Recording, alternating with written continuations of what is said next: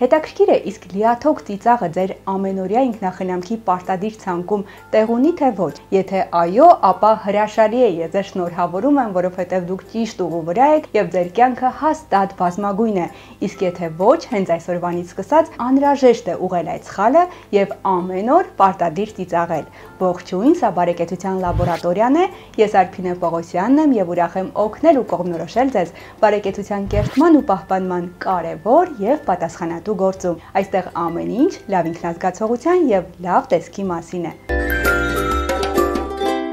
Այսօր խոսում ենք ծիծաղելու մասին, ծիծաղի օգտակարության մասին, որովհետև ծիծաղը իսկապես հրաշքներ է գործում մեր օրգանիզմի հետ, ինչպես նաև բարձրացնում է մեր տրամադրությունը, լավացնում է մեր հոգեկան առողջությունը, այնպես որ օրվա ընթացքում առնվազն մի քանի անգամ լիաթոք ծիծաղելը պարտադիր է։ Դա խորհուրդ են տալիս բազմաթիվ մասնագետներ, որովհետև տարատեսակ հետազոտությունների արդյունքում པարզ է դարձել, որ ծիծաղն իսկապես ապակինող ազդեցություն ունի։ Լավացնում է սրտի աշխատանքը, արյան շրջանառությունը, ակտիվացնում զարգացնում է ուղեղի աշխատանքը եւ մեզ օգնում է ավելի դրական որոշումներ կայացնել եւ լինել առավել կառուցողական։ Էնպես որ բոլոր անհասկանալի իրավիճակներում փորձեք մի լավ լիաթոք ծիծաղել, թոթափել ողջ կուտակված լարվածությունը ու դրանից հետո միայն դրական որոշումներ կայացնել ու լինել առավել կառուցողական։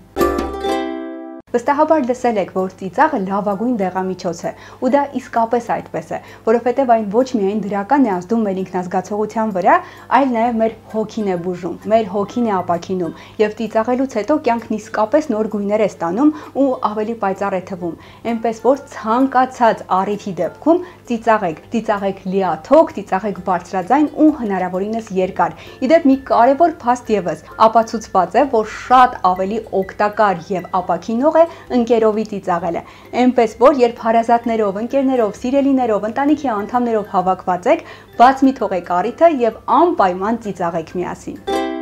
Ծիծաղը կարգավորում է նաև մեր հորմոնալ ֆոնը եւ դրական է անդրադառնում մեր իմունային համակարգի վրա։ Ու բոլոր այն պահերին, երբ հիվանդ եք եւ տրամադրություն չունեք, երբ բազմոցից չեք ուզում վեր կենալ եւ ինչ որ բան անել, տխուր տրտում նստելու փոխարեն պարզապես ծիծաղեք եւ հնարավորինս շատ հեղուկներ խմեք։ Այդ ժամանակ դուք շատ արագ ոտքի կկանգնեք, կունենաք լավ ինքնազգացողություն եւ այլևս բազմոցին նստած տխրելու կարիք չի լինի։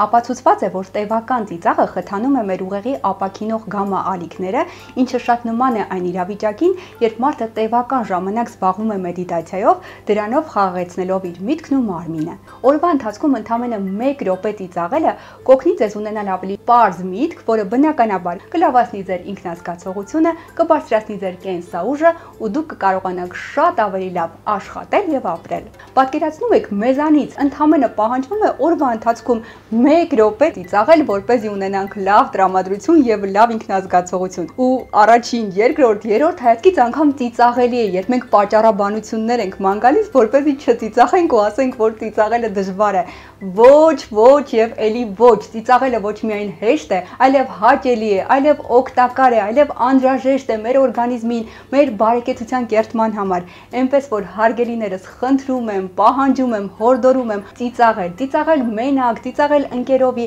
եթե անգամ բարձր ծիծաղող տեսակ չեք ինչպես ես, ապա գոնե լայն ժպտալ, որովհետև այդ լայն ժպիտը կողողի ձեր ողջ դեմքը, կջերմացնի ձեր հոգին, կջերմացնի ձեր սիրտը ու դուք կկարողանաք շատ ավելի լավ ինքնազգացողություն ունենալ, շատ ավելի դրական լինել եւ այդ դրականով կիսվել ձեր շրջապատող, ձեր հարազատ մարդկանց հետ։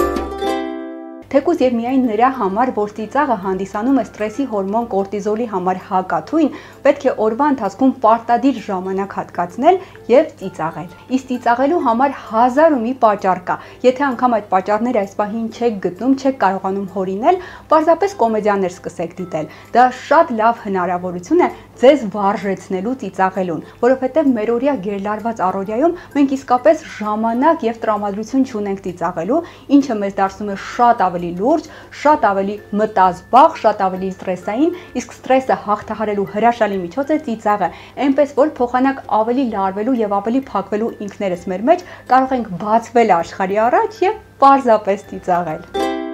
իրավիճակներ կան, որոնք ծիծաղի օգնությամբ շատ ավելի հեշտ ու հանգիստ հաղթահարվում են։ Իսկ երբ մենք իրավիճակը տեղով արդեն բարդ իրավիճակն ավելի ենք բարթացնում, հանում ենք այնտեղից լավ տրամադրությունը, հումորի զգացողությունը ծիծաղը, այնտեղ մնում է միայն ցավ ու տարապանք։ Դա բոլորովին չի նշանակում, որ մենք պետք է ծիծաղենք մեր ցավի վրա, սակայն հումորի զգացողության շնորհիվ ցավը շատ ավելի արագ հաղթահարելի է։ Եվ ի վերջո, ինչպես ընդունված է ասել, պետք է սովորել թեթև ապրել եւ ապրել հումորով, որովհետև միևնույնն է, այս կյանքից ոչ մեկս էլ կենթանի չենք բրցնելու։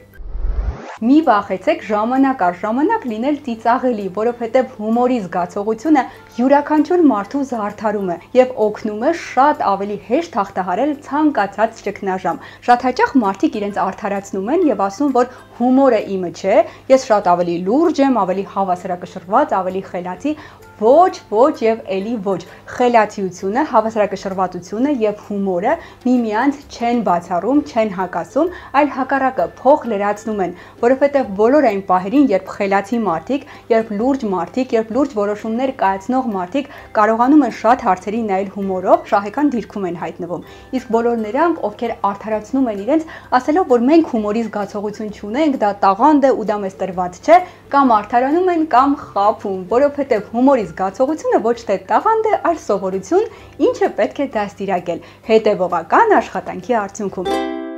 Ինչպես ընդունված է ասել, լացը լաց է բերում, իսկ ծիծաղը ծիծաղ։ Էնպես որ հարգելիներս լացելու փոխարեն եկեք պարզապես ծիծաղենք, որովհետև դա ոչ միայն օգտակար է, այլ նաև մեզ գեղեցկացնում է ու տարիքի հետ մեր դեմքին կնճիրներ կհայտնվեն միայն այն տեղերում, որտեղ նախկինում եղել են ժպիտներ ու ծիծաղ։ Իդեպ շատ լավ է առավոտը սկսել ծիծաղով։ Կարող ենք արարողակարգ մշակել ու օրինակ ձեր բալիկներին արթնացնելուց ինչ որ հետաքրքիր ծիծաղելի մի բան անել, որը թե նրանց կծիծաղեցնի, թե ձեզ ձեզ կծիծաղեցնի եւ այդ ծիծաղի լավ չափականակով ու բարձր կենսաուժով բոլորդ կկարողանաք գնալ ձեր գործերին։ Էնպես որ առավոտը սկսեք ծիծաղով ու լավ տրամադրությամբ։ Իդեպ լարված աշխատանքային պահերին եւս մի պահ դաթար առեք եւ փորձեք ինչ-որ հետաքրքիր ծիծաղելի մի տեսանյութ նայել։ Ընդամենը 5 րոպե անց ձեր հոգնածությունը կչքանա, ձեր կենսաուժը կավելանա, այսպես ասած ձեր ներքին մարտկոցը կլիցքավորվի եւ դուք շատ ավելի արդյունավետ կկարողանաք աշխատել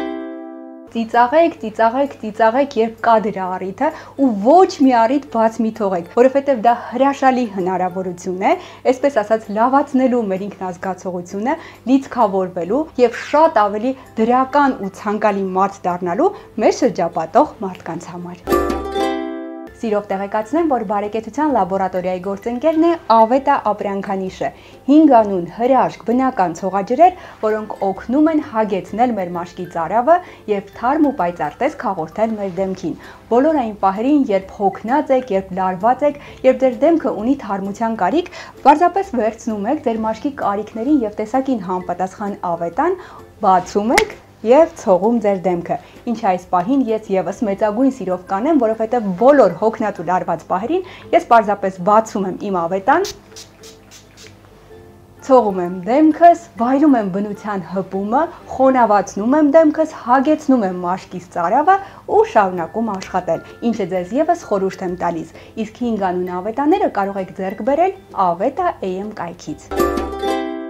Սա բարեկեցության լաբորատորիան էր, ես Արփինե Պողոսյանն եմ, այստեղ միասին մշակում եւ փորձարկում ենք լիարժեք ապրելու տարատեսակ բանաձևեր։ Բոլորիդ լավոր եմ մաղթում, շուտով կրկին կհանդիպենք։